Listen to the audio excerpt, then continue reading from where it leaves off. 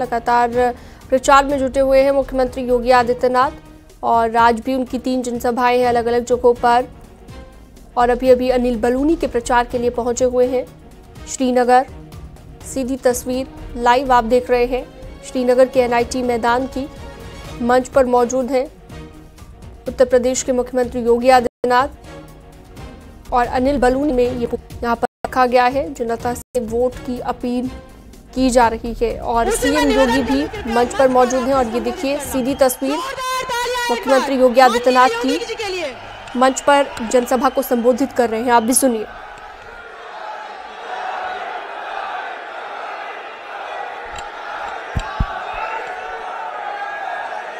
भारत माता की। भारत माता की। भारत माता की। गंगे माता की, गंगे मैया की, बद्रीनाथ भगवान की, बद्रीनाथ भगवान की, श्री केदारनाथ भगवान की, श्री केदारनाथ भगवान की, माता धारी देवी की, माता धारी देवी की। देवभूमि उत्तराखंड को नमन करते हुए आज 14 अप्रैल है। भारत के संविधान के शिल्पी बाबा साहब डॉक्टर भीमराव अंबेडकर की पावन जयंती। इस अवसर पर उनकी स्मृतियों को नमन करते हुए विनम्र श्रद्धांजलि अर्पित करता हूँ और आप सभी उत्तराखंड के बहनों और भाइयों का हृदय से अभिनंदन करता हूँ। मंच पर उपस्थित भारतीय जनता पार्टी के हमारे कर्मठ महेंद्र भट्ट जी, प्रतिष्ठित होंगे भारतीय जनता पार्टी के राष्ट्रीय प्रवक्ता के रूप में। केंद्र की सरकार और भारतीय जनता पार्टी के मुद्दों को प्रभावी ढंग से देश और दुनिया के सामने रखने में महत्वपूर्ण भूमिका का निर्वहन किया है। ऐसे लोकप्रिय नेता श्री अनिल बनोली जी श्री सुबोध उनियाल जी, इस क्षेत्र के लोकप्रिय विधायक और उत्तराखंड शासन के मंत्री डॉक्टर धन सिंह रावत जी, माननीय सांसद श्री तीरथ सिंह रावत जी आज के मान्य विधायकगण श्री राजकुमार जी, विनोद कंडारी जी, श्रीमती रेणु बिष्ट जी, भारतीय जनता पार्टी के संख्या में उपस्थित बहनों और भाइयों, आज लोकसभा सीट पर आप सबसे संवाद बनाने का अवसर प्राप्त हो रहा है। बहनों और भाइयों ये संवाद मेरे लिए। सचमुच जब मैं देवभूमि उत्तराखंड में आता हूँ तो उत्तराखंड की यात्रा और यहाँ का संवाद मेरे लिए आत्म साक्षात्कार जैसे होता है। एक आध्यात्मिक अनुभूति का अवसर होता है। मैं इस बात को मानता हूँ कि यहाँ के कण को इसे देवभूमि कहा जाता है। यहाँ से निकली हुई पवित्र नदियाँ, जब यहाँ से अपनी पवित्र जल की धारा को उत्तराखंड से नीचे उत्तर प्रदेश पहुंचाती है तो उत्तर प्रदेश भी समृद्धि की एक नई ऊंचाई तक पहुँचता है। गफलत होती है। वो लोग इस बात को मानते हैं कि उत्तर प्रदेश में अपराधियों के खिलाफ ज़ीरो टॉलरेंस की जो नीति है हमारी, ऐसा के अंदर वे चिंतित मत होइए। मैं उन्हें इस बात के लिए पहले ही इन माफिया और अपराधियों को मैं इसलिए नहीं कि।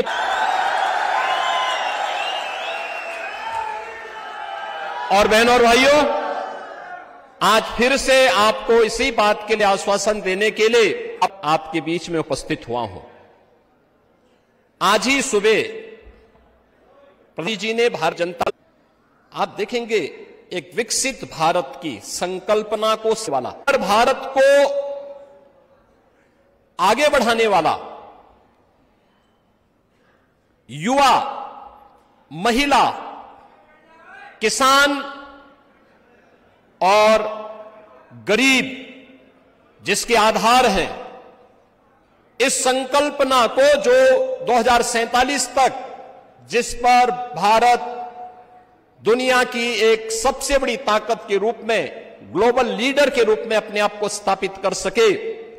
एक ऐसे भारत के निर्माण के लिए भारतीय जनता पार्टी ने अपना इलेक्शन का संकल्प पत्र जारी किया है, जिसे आप इलेक्शन घोषणा पत्र कह सकते हैं। मैनिफेस्टो भारतीय जनता पार्टी का जारी हुआ है। और मैं कहूँगा कि भारतीय जनता पार्टी का एक एक कार्यकर्ता उस मैनिफेस्टो को थोड़ा पढ़े।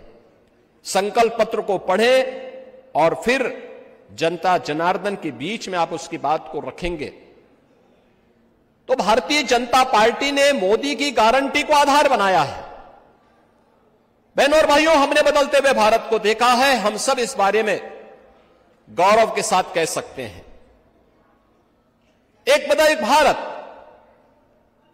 मुझे उन्नीस सौ अठानवे से गोरखपुर से सांसद के रूप में गोरखपुर से पाँच बार सांसद रहने का अवसर प्राप्त हुआ और मैं अक्सर देखता था। कभी कभी खिन्नता होती थी। जब सांसद के माध्यम से मैं देखता था, कांग्रेस के दस वर्ष के उस कार्यकाल को भी मैंने देखा था।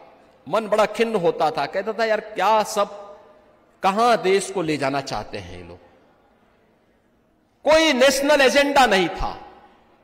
उनके एजेंडे में न युवा था, न महिलाएँ थी, न गरीब था, न किसान था।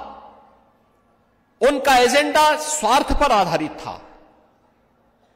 देश को फिर से विघटन की ओर ले जाने वाला था। लेकिन हमने पिछले दस वर्ष के अंदर एक बदलते हुए भारत को देखा है। वैश्विक मंच पर जिसका सम्मान है।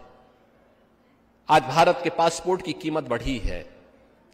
आज भारत दुनिया के अंदर कहीं भी जाता है, भारत का 140 करोड़ की आबादी में से कोई भी भारतीय दुनिया के अंदर कहीं भी जाता है, उसका सम्मान, लोग उसको सम्मान की निगाहों से देखते हैं।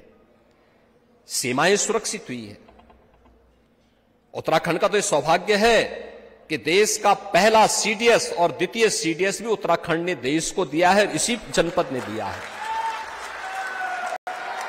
बिपिन रावत जी की देश की सुरक्षा के लिए अपनी पूरी जवानी लगाने वाला उत्तराखंड। देश की सीमाओं की प्रति सबसे संवेदनशील और सबसे हमेशा चिंतित रहने वाला था। बहनों और भाइयों, आज हम इस बात के लिए आश्वस्त हैं कि हमारी सीमाएँ सुरक्षित है, क्योंकि मोदी जी का नेतृत्व है। देश के अंदर आंतरिक सुरक्षा की स्थिति क्या थी? कांग्रेस के समय में लगभग डेढ़ सौ जनपद देश कैसे थे जो भीषण नक्सलवाद की चपेट में थे? आज बामुश्किल तीन चार जनपदों में है और यह भी आप देखना। तीसरा कार्यकाल दीजिए, नक्सलवाद का हमेशा के लिए समाप्ति हो जाएगी। कश्मीर में उग्र आतंकवाद की समस्या का समाधान हो गया है। धारा 370 समाप्त की। आज से चार दिन पहले मैं स्वयं जम्मू कश्मीर में था। भारतीय जनता पार्टी के समर्थन के लिए गया था। क्या उत्साह था लोगों में। लोग आज चुनाव और लोकतंत्र की मुख्य धारा के साथ जुड़ करके मोदी की गारंटी पर विश्वास कर रहे हैं। जम्मू कश्मीर के अंदर परिवर्तन। बहनों और भाइयों पूर्वोत्तर के राज्यों की स्थिति क्या थी? आज वे भारत की मुख्य धारा के साथ जुड़ करके गौरव की अनुभूति करते हैं। देश के अंदर इंफ्रास्ट्रक्चर अभी मैं देख रहा था। देहरादून, ऋषिकेश से ट्रेन की सुविधा श्रीनगर होते हुए कर्ण पर्यात तक। कोई सोचता था? पहाड़ के लिए तो कनेक्टिविटी सबसे कठिन था। कितना कठिन था? हम लोग बद्रीनाथ की यात्रा के लिए जाते थे, केदारनाथ जी के लिए जाते थे।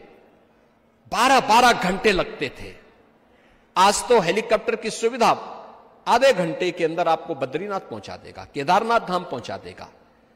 केदारनाथ धाम फिर से अपने उस वैभव को प्राप्त कर चुका है, जो 2013 के पहले था। क्या कर दिया था कांग्रेस ने? कहाँ पहुँचा दिया था? और पहाड़ में, क्योंकि मेरा तो बचपन ही यहाँ गुजरा है। दो तीन किलोमीटर नीचे जाना पड़ता था हमें पानी के लिए, और तब फिर बाल्टी में या किसी अन्य उसमें पानी भर भर करके लाना पड़ता था। आज तो हर घर नल की प्रारंभक स्तर पर है। ईंधन के लिए लकड़ी पीनना पड़ता था, क्योंकि कांग्रेस के लोग तो केरोसिन भी नहीं दे पाते थे। आज हर घर को रसोई गैस के सिलेंडर दिए। उत्तराखंड बनने के बाद उत्तराखंड ने चार धाम यात्रा जो भी चीज़ आई, भारतीय जनता पार्टी की सरकारों ने वह परिवर्तन करके रख दिया। परिवर्तन किस रूप में करके रखा? आज आप देख सकते हैं इंफ्रास्ट्रक्चर का। One district one medical college का काम हो रहा है। प्रौद्योगिकी के अच्छे संस्थान स्थापित हो रहे हैं। एम्स बन रहे हैं आईआईटी बन रही है आईएम बन रहे हैं ट्रिपल आईटी बन रही है एनआईटी बन रही है। ये पहले कल्पना थी, लेकिन आज साकार हो रहा है। कांग्रेस ने 60 वर्ष में एक एम्स दिया और भारतीय जनता पार्टी ने सर्वे अटल जी के समय छह एम्स बने और मोदी जी के समय पंद्रह एम्स बन रहे हैं। वर्ल्ड क्लास यूनिवर्सिटी की आप देख सकते हैं एयर कनेक्टिविटी आप देख सकते हैं। इंफ्रास्ट्रक्चर का ये वर्ल्ड क्लास इंफ्रास्ट्रक्चर आज आप देख सकते हैं। और गरीब कल्याण की तो बात ही क्या? कांग्रेस के समय लोग भूख मर, भूखों से भूखों मरते थे। आज 80 करोड़ लोगों को फ्री में राशन। 60 करोड़ लोगों को पाँच लाख रुपए की आयुष्मान भारत की सुविधा। 50 करोड़ लोगों के जनधन अकाउंट। भ्रष्टाचार को रोकने की प्रभावी उपाय डीबीटी 50 करोड़ लोगों के अकाउंट खोले गए। 12 करोड़ अन्नदाता किसानों को प्रधानमंत्री किसान सम्मान निधि का लाभ। बहन और भाइयों 10 करोड़ गरीबों के घर में उज्ज्वला योजना के फ्री में कनेक्शन। चार करोड़ गरीबों को आवास। और आज के संकल्प पत्र में कहा गया कि तीन करोड़ और को देंगे अभी आज ही के संकल्प पत्र में प्रधानमंत्री जी ने कहा बिजली ढाई करोड़ घरों तक पहुँचा दी गई। ये गरीब कल्याण की योजनाएँ कांग्रेस करती नहीं थी, मोदी जी ने करके दिखा दिया। और तो और। अभी बलोनी जी कह रहे थे, कांग्रेस कहती थी कि राम तो हुए ही नहीं। और आज जब अयोध्या में 500 वर्षों का इंतज़ार समाप्त करके प्रभु राम का भव्य मंदिर बन गया है, अब कांग्रेस के लोग कहते हैं, अब कांग्रेस के ही लोगों के स्वर बदल गए। अब कहते हैं कि राम तो सबके हैं। आप देखो ना कितने एक बहुरूपिया है? पहले कहते थे राम हुए ही नहीं। आज कहते राम तो सबके हैं। ऐसे ही होता है। बहनों और भाइयों, इन्होंने आस्था के साथ भी खिलवाड़ किया। युवाओं की आजीविका के साथ भी खिलवाड़ किया। देश की सुरक्षा के साथ भी इन्होंने खिलवाड़ किया। और एक गरीब के ऊपर सरकार का जो संरक्षण होना है, होना चाहिए था उसका भी इन्होंने मज़ाक उड़ाने का काम किया था। चेहरा देखकर के योजनाओं का लाभ देते थे। कहते थे कि देश के सम, देश की संसाधनों पर पहला अधिकार मुसलमानों का है। तो फिर 1947 में देश का विभाजन क्यों करवाया था? किसी ने प्रश्न क्यों नहीं पूछा कांग्रेसियों से?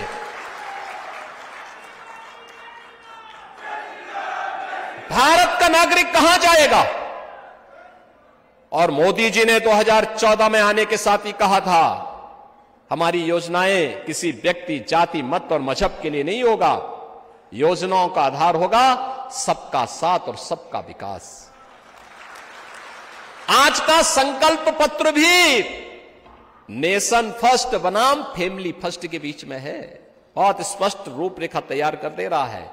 कांग्रेस के लोगों के लिए परिवार प्रथम है और मोदी जी के लिए राष्ट्र प्रथम है। बहन और भाइयों, एक तरफ़ स्वार्थ का परिवार है, दूसरी तरफ़ मोदी का परिवार है। एक तरफ़ देश को अलगावाद आतंकवाद, अराजकता, भ्रष्टाचार के आगोश में ले जाने की कांग्रेस की गारंटी है, और दूसरी तरफ़ भारत को विकसित भारत और आत्मनिर्भर भारत बनाने की मोदी की गारंटी है। और इसीलिए हम सब आपके पास आए हैं। उत्तर प्रदेश में तो हम तय कर चुके हैं। 80 सीट है उत्तर प्रदेश में। 80 लोकसभा सीट। और 80 की 80 सीट मोदी जी के हवाले उत्तर प्रदेश करने जा रहा है। और मोदी जी ने ऋषिकेश में से उत्तराखंड वासियों का आह्वान किया था। और उन्होंने कहा था, मुझे उत्तराखंड में उत्तराखंड के पंचकमल की माला चाहिए, पंचकमल की। या आपका आश्वासन मोदी जी के लिए, यहाँ के विकास के लिए, यहाँ की समृद्धि के लिए, यहाँ पे चल रहे प्रोजेक्ट को आगे बढ़ाने के लिए, और उन अभियानों को, जिसके लिए इस देवभूमि की पहचान है। पहले कोई केदारनाथ धाम और बद्रीनाथ धाम की चर्चा करता था क्या?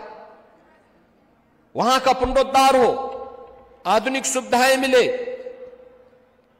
सरकार भी उस योजना का हिस्सा बने, कांग्रेस ने एक काम ज़रूर कर दिया। मंदिरों के पैसे को धर्मांतरण के कार्यों में ज़रूर लगा दिया। मंदिर का पैसा मदरसा निर्माण में ज़रूर खर्च कर दिया। लेकिन बहनों और भाइयों, उन मंदिरों को हम भी शासन के संरक्षण से कुछ उसके पुनरुद्धार की कार्य योजना बना सके। यह काम मोदी जी ने करके दिखाया है। केदारनाथ धाम हो या बद्रीनाथ धाम में चल रहा प्रोजेक्ट, इसका उदाहरण है। बहनों भाइयों, आज आज आप अयोध्या आएँगे ना? आज आपको लगेगा, जो अयोध्या पाँच वर्ष, सात वर्ष पहले गया होगा और आज अयोध्या जाएगा, उसको लगेगा साक्षात त्रेता युग का अयोध्या। उपस्थित हो गया है। एक नई अयोध्या के दर्शन हो रहे हैं। प्रतिदिन डेढ़ से दो लाख लोग अयोध्या में दर्शन करने कर रहे हैं। प्रतिदिन कर रहे हैं। जो संकरी गलियाँ थी, आज फोर लेन हो चुकी हैं, सिक्स लेन हो चुकी हैं। कोई कोताही नहीं छोड़ी गई है। जितने लोग, जितने श्रद्धालु आएँगे, सबके लिए सुविधा है, सबकी सुरक्षा की व्यवस्था भी है। और हम लोग तो पहले इस बात को कहते हैं। कि भाई देखो, छेड़ेंगे नहीं, लेकिन अगर किसी बेटी और किसी व्यापारी को छेड़ा तो छोड़ेंगे भी नहीं।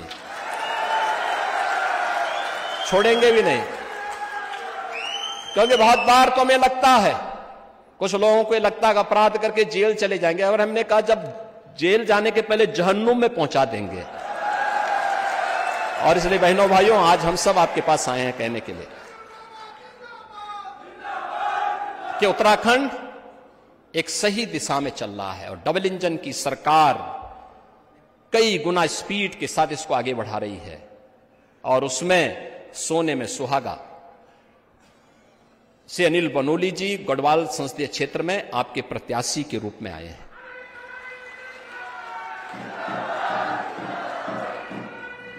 मेरी आप सबसे अपील होगी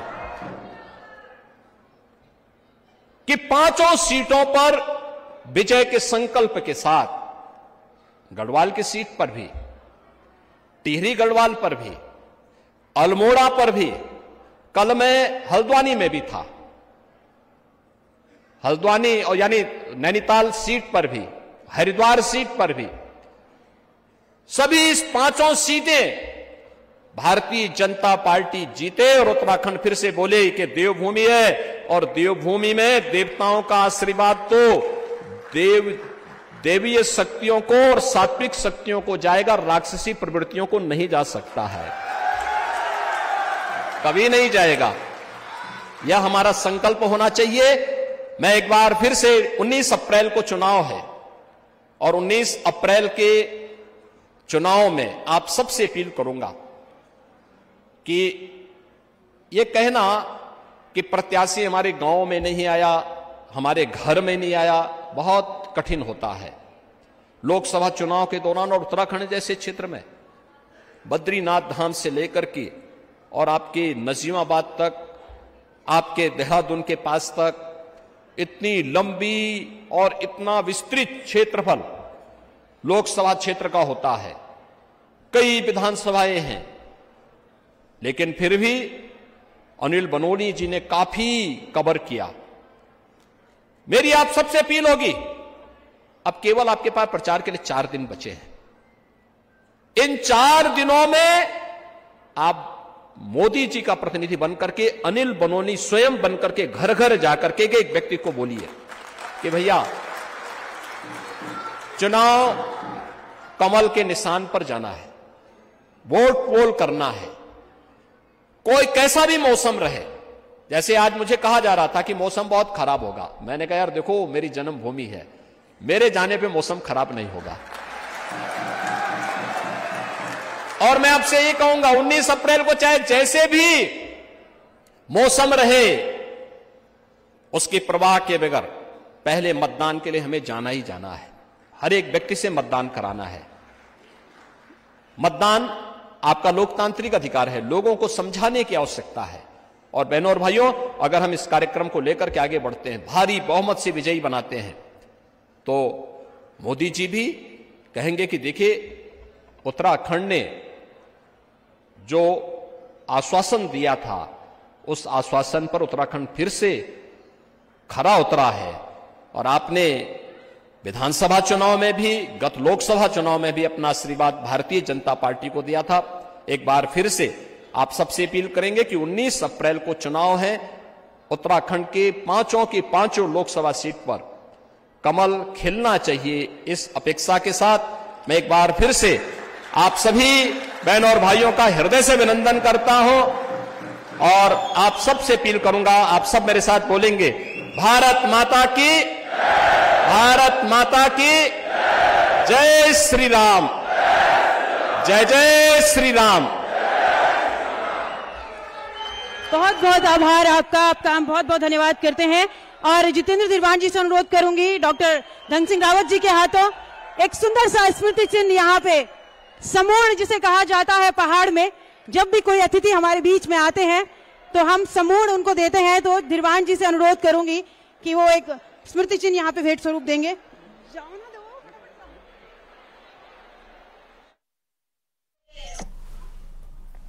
तो अभी अभी आपने मुख्यमंत्री योगी आदित्यनाथ को सुना। श्रीनगर में अनिल बलूनी के समर्थन में उन्होंने जनसभा को संबोधित किया और अब विक्ट्री का साइन दिखाते हुए मंच पर मौजूद। सीधी तस्वीर आपको दिखा रहा है न्यूज़ एटीन। और इसके साथ ही दूसरी तरफ़, सीएम धामी की भी तस्वीर आपको दिखाएँगे जो पीलीभीत में मौजूद है। लेकिन फ़िलहाल ये तस्वीर आपको हम दिखा रहे हैं श्रीनगर की। पौड़ी गढ़वाल से भारतीय जनता पार्टी के उम्मीदवार अनिल बलूनी के लिए सीएम योगी प्रचार करने पहुँचे हुए हैं और उनकी तरफ़ से जनसभा को अभी अभी संबोधित किया गया, जो तस्वीर हमने आपको दिखाई। तो देख सकते हैं, मंच पर विक्ट्री का साइन दिखाते हुए तमाम बीजेपी के बड़े नेता, जिसमें मुख्यमंत्री योगी आदित्यनाथ, स्टार प्रचारक के तौर पर पहुँचे हुए हैं और अलग अलग राज्यों में जाकर लगातार प्रचार कर रहे हैं सीएम योगी आदित्यनाथ इसी कड़ी में। ये प्रचार